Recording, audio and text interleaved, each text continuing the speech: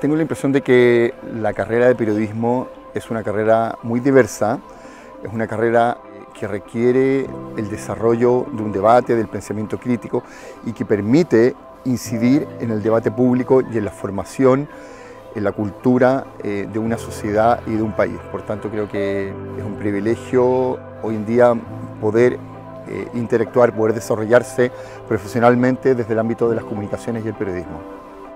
Eh, me parece que esta es una universidad bastante particular porque eh, primero es una universidad diversa que favorece la discusión, el debate y favorece un pensamiento crítico. Me parece que eso es sumamente valioso en un mundo que, más bien que demanda contribución a, eh, a un debate abierto, pluralista y democrático.